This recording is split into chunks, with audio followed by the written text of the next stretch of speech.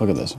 They're all over the place. They were teeny last time. Now they're they're huge. Full blown But, but there's caterpillars. but there is none above. None above. It didn't quite work like I expected, but it has been working. Have you ever been engaged in a in a war or a social problem in which you get your desired outcome, but it didn't actually matter that you did anything? The problem is way better this year than it was last year. But I don't think it's because of, of this. I think it's just some natural force. We're gonna do a little tour of the insidiousness of these creatures. These are eaten by mostly the Wintermoth caterpillars. It's it's on you. It's gonna eat you. just walking around, you'll get them all over you. They get in the house, Last time I suggested that maybe get rid of a few trees, and man, people are offended by that. Jon's gonna hate your suggestion because did you notice that he has wrapped this little tiny tree? Even this little tree. Last year, this tree was completely defoliated. It actually has not defoliated significantly since I sprayed it with the BT and wrapped it. But these trees are very easy to treat because it's so low to the ground, you can easily get all the leaves. The oak trees, no way you're doing that. What do you think has been the most effective of your actions? Is it the wrapping or is it the spray? The wrapping was supposed to, they were supposed to crawl up into it and die, right? Because they couldn't get out. They're actually not doing that. They are not going onto the wrapping and not passing the sticky barrier, which is fine too. However, there's still a significant number up in the trees themselves that are just crawling between branches and they'll never leave the branches in their lifetime. You had a lot of concern last time that the moisture that built up underneath the wrappings was Yeah, part so of the tree. let's go take a look at that. We have uh, an oak tree, it's about maybe uh, 50 years old, and this has got some severe damage. It has nothing to do with the winter moths, but pull map the wrapping a little bit. Oh my! Yeah, pill bugs. And this is caused by the wrapping? Yes, this tree in particular is affected because the bark is very is dead. I got sticky crap all over my arm. yes, you did. I can see it right there because it's on this leaf by accident because I was kind of I was kind of lazy when applying it. The wrapping has to come off probably within the next two weeks. Even those maple leaves right there, you can just see how eaten through they are. This is definitely a big improvement. Did you wrap any more after that? No, How do you know what height to wrap it? because I'm doing it in the spring, it doesn't really matter so much. They'll crawl up to where the wrapping is. If you do it in the fall to try to prevent them from laying the eggs that become the things in the spring, as low to the ground as possible so that they won't crawl up, they'll lay all the eggs below that point. You really only need enough area to spread your, your goop around. You can use petroleum jelly. Uh, petroleum jelly will work just as well. Anything that's not gonna wash off with the rain.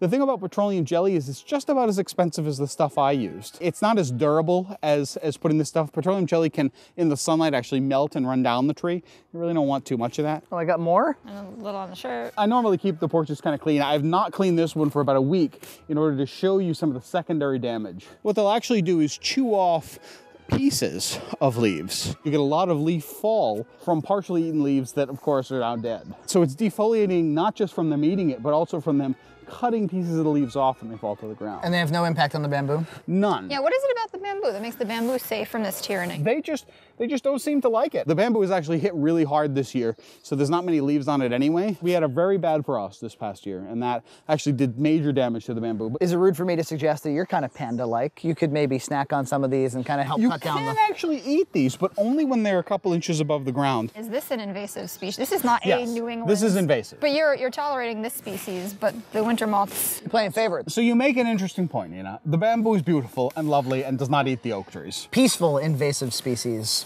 are okay with you. Yes, or ones I can easily control. Like for this bamboo, all I have to do is just kick it down when it grows up. My father planted it maybe about 12, 15 years ago. There's a massive grove of bamboo. I was gonna say there's a you have a field. Of Yeah, bamboo. a field of bamboo. It's out of control completely. There is actually one more serious annoyance about these winter moths.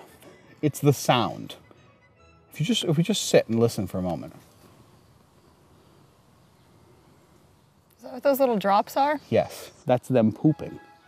But I don't expect the listeners at home to be able to hear it, and I want them to. Your problem is the noise pollution or the actual physical pollution no, well, of moth poop The, everywhere? the moth poop everywhere is actually a serious problem. I've got some in my hair right now. A piece just fell right on my head.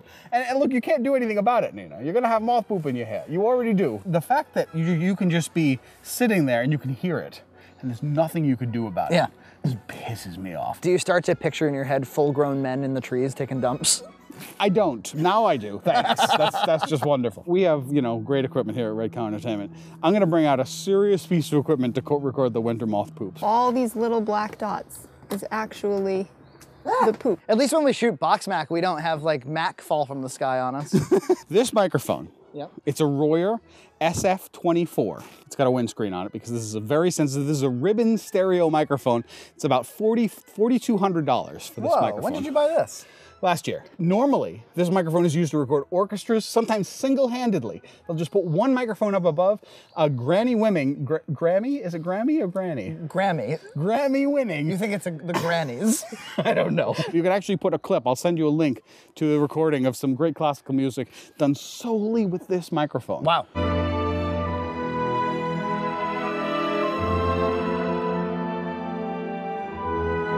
With a piece of equipment like that, what are we going to use it today for?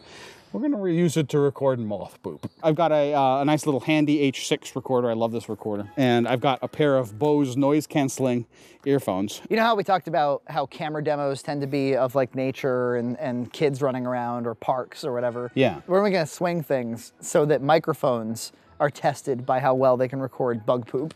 Uh, I don't know. I, actually, there's only a couple videos of this microphone on YouTube. So if you put this in the tag, you might actually get people who come just to see how well this microphone can record Excellent. uh, poop. Most of the sound when you hear moth poops uh, is up in the trees. It's hitting the leaves, not so much hitting the ground. That hollow sound of That's it, of it hitting something with no resistance. We're gonna move this out here into kind of the middle of the stage. Like it sounds like very light rain. If I did not know any better. yeah. FYI, Jon's dad is in the garden right now, and we've been doing crap like this for way too many years for him to wonder why we're doing this. Let's have quiet for a moment. I'm gonna see if I can hear the moth poops through the headphones.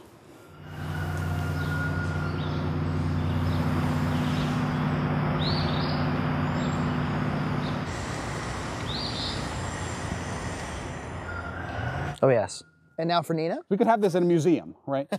this could be like at the Museum of Natural Science, you would have like, listen to moth poops, put on the headphones. Yeah. You have to press the button for the moth poops just because it's interactive. It's an interactive experience.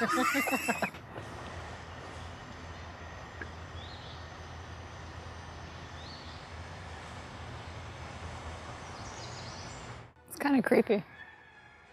It's majestic. I want to know what's going to happen when you do unwrap all the trees. I think they'll be mostly okay. I think that one was mostly suffering damage because it, it's got that dead bark in that area. And then they'll kind of all just go away for a while till the fall when suddenly on one November day, you'll get a burst of moths. We live by the water, Nina and I, and we get uh, mayflies, fish flies. Yeah. And Fish bugs, mayflies. whatever. You wake up one morning and they're everywhere. Well, we've since learned, now that we've done it for a few years, that if you keep all your lights off at night, you're okay. Yeah. But if you trick. forget a light, your whole side of your house See, is covered. you have to have completely different strategies for your insect infestations than I have to have for mine. I definitely just got poop in my hair. I'm sorry, Nana.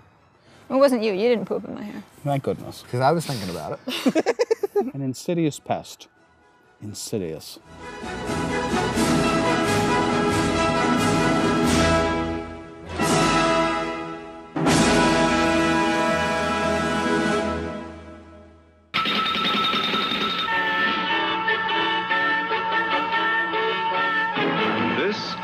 NET, the National Educational Television Network.